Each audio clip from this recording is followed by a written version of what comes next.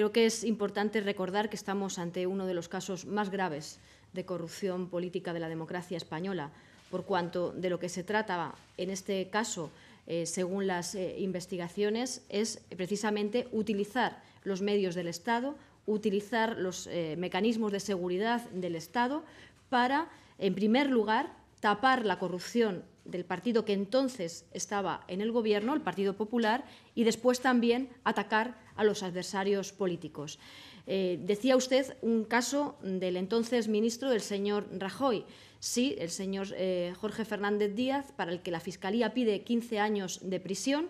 y que todavía hoy se mantiene en las filas del Partido Popular. Creo que hay que mostrar absoluta condena, rechazo de forma contundente. Este tipo de actitudes no son admisibles, dañan al Estado español, dañan eh, nuestra democracia y, por tanto, no se entiende que el principal partido de la oposición hoy como ayer siga amparando este tipo de comportamientos y no haya manifestado eh, una reacción ante los mismos, hasta tal punto que mantienen la militancia entre sus filas quienes protagonizaron estos hechos que, como digo, son de absoluta gravedad en tanto en cuanto dañan eh, a la estructura del Estado, a los cuerpos y fuerzas de seguridad del Estado.